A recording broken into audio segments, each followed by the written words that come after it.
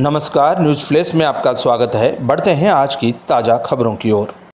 सिरोही में प्रारंभिक शिक्षा और पंचायती राज विभाग सिरोही द्वारा एसपी महाविद्यालय के सभागार में जिला स्तरीय भामाशाह और प्रेरक सम्मान समारोह आयोजित किया गया।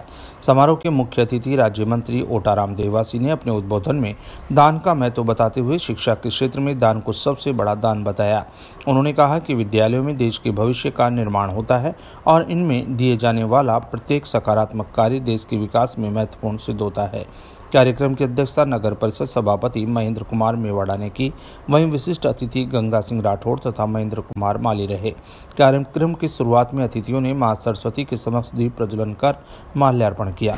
अतिथियों का स्वागत माला, साफा और शॉल उड़ाकर तथा सामेले के साथ किया गया।